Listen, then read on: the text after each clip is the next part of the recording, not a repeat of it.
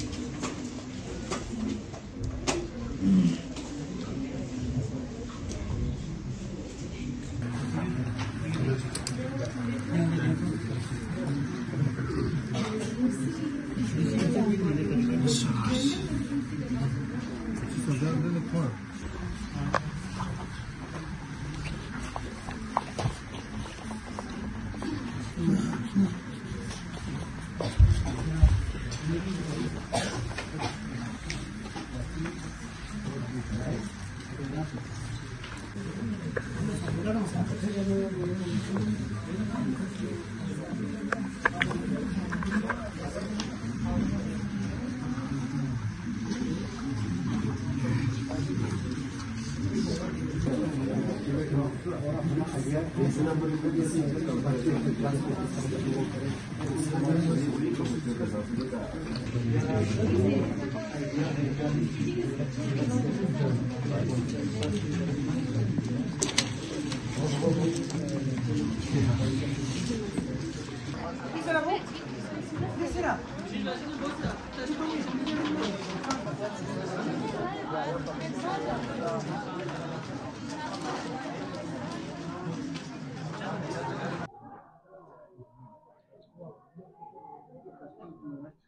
जी आपका नाम? ज्योति कुमारी। कौन सी स्कूल से पीएम श्री केंद्रीय विद्यालय कारगिल। तो आज यहाँ पे एक यूटी लेवल का ड्राइंग कंपटीशन है जो ड्रग्स से रिलेटेड है। तो आपने यहाँ पे क्या बनाया थोड़ा बताइए। यहाँ पर मैंने जितने भी ड्रग्स स्मोकिंग एल्कोहल इन सब के कंजम्पशन से जो भी रिलेटेड चीज़ें हैं, जिससे हमें हार्म पहुँचती है, उन सारी चीज़ों को यहाँ पर मैंने दर्शाने की कोशिश की है। और मेरी कोशिश यही रहेगी कि इन सब चीज़ों से जो भी हमारे यूथ या फिर जितने भी लोग इन सब चीज़ों के अंदर है, वो इससे कुछ सीखे और इस चीज़ को रोके ताकि हमारी कंट्री की तो यूटी लेवल इस तरह की जो प्रोग्राम है ड्रग्स फ्री करने के लिए आज एक ड्राइंग कंपटीशन किया तो किस तरह? अ, इस चीज़ को मैं बहुत ही इंटरैक्टिव या फिर बहुत ही अच्छा वे मानती हूँ हमारे यूथ को ये सब चीज़ें सिखाने के लिए क्योंकि जब हम पेंटिंग करते हैं तो यूथ अपना अपना दिमाग लगाते हैं इन सब चीज़ों में और इसे स्टूडेंट्स पहले से ही इन सब चीज़ों, इन सब चीज़ों के नुकसान या फिर फ़ायदे जो भी कुछ है, ये सीखते हैं और गलत चीज़ों से दूर रहते हैं। अस्सलाम वालेकुम, मेरा नाम साजदा है। साजदा बानो मैं एम पी एस भरू से बिलोंग करती हूँ। एक मैं नाइन्थ क्लास स्टैंडर्ड में हूँ। और यहाँ पे हम, यहाँ पे कंपटीशन रखा है पेंटिंग का, जो कि social abuse and drugs abuse मैंने बनाया है सोशल सोशल एब्यूज़ जो कि आजकल मोबाइल से गलत फ़ायदे भी उठाए जाते हैं। तो वही ना करने से नहीं ना करने का एक पेंटिंग बना है, जिसे आप देख भी सकते हैं थैंक यू तो एडमिनिस्ट्रेशन इस तरह की प्रोग्राम रखते हैं। रखना चाहिए। जी हाँ बिल्कुल। ऐसे प्रोग्राम मेरे ख्याल से हर साल रखना चाहिए ताकि ज़्यादा से ज़्यादा अभी जैसे हमारे आगे से नस्ल को नस्ल जैसे अभी पेरेंट्स भी इन लगाव लगाव हो चुके हैं तो अगर हम आगे नस्ल को अगर यही हम सीख देंगे तो यही खराब यही अब्यूज़ होगा। तो इसीलिए यहाँ पे हमने पेंटिंग बना धीरे धीरे अगर वही बनाएँगे तो बच्चे पहले से ही सीख जाएँगे कि ये सब हालत है।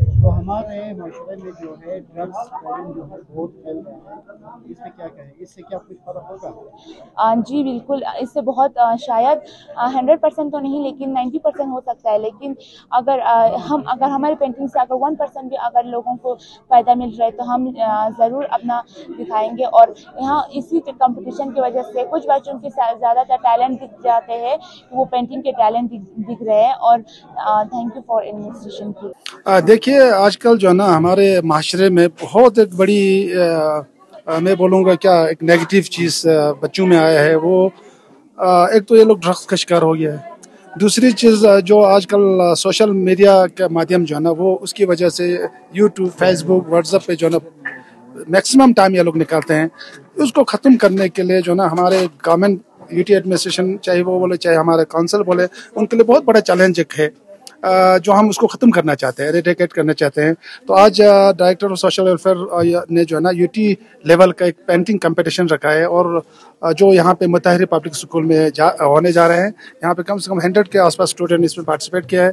तो मैं यूटी एडमिनिस्ट्रेशन के कमिश्नर सेक्रेटरी और डायरेक्टर जितने भी इसमें मतलब इस ऑफिशियल्स हैं उनको मुबारकबाद पेश करना चाहूँगा कि मुझे लगता है इस, इसका जो पेंटिंग कंपटीशन में जो आउटकम्स आएँगे फ़र्स्ट सेकेंड थर्ड आएँगे वो हमारे लिए गाइडिंग फोर्स बनेगा आगे जाके जो है ना ये इस चीज़ को कैसे हम ख़त्म कर सकते हैं।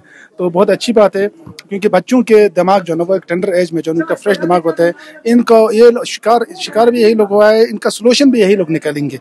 तो पेंटिंग के माध्यम से ये अवेयरनेस लोगों तक पहुँचाना चाहता है और मैं आ, हमारे जितने भी मीडिया के लोग हैं खासकर करगिल में मीडिया इतना एक्टिव है उनको मैं अप्रिशिएट करना चाहूँगा कि आपके माध्यम से जो भी इस पेंटिंग कंपटीशन में आउटकम्स आता है और मेंटल हेल्थ के बारे में या ड्रग्स के बारे में या किसी और चीज़ के बारे में उसको कैसे हम ख़त्म किया, किया जा सके आने वाले दिनों में तो उसको जितना भी हो सके इसको लोगों तक पहुंचाना है और हमारा सबका एक एफर्ट रहना चाहिए चाहे वो मीडिया वाले है चाहे वो काउंसिल वाले है चाहे वो यूटी एडमिनिस्ट्रेशन में बैठने वाले लोग हैं कि हम हमारे आने वाले फ्यूचर जनरेशन के जो लोग हैं उनको जो है एक अच्छा सा एक साफ़ सुथरा माहौल कैसे दे पाए।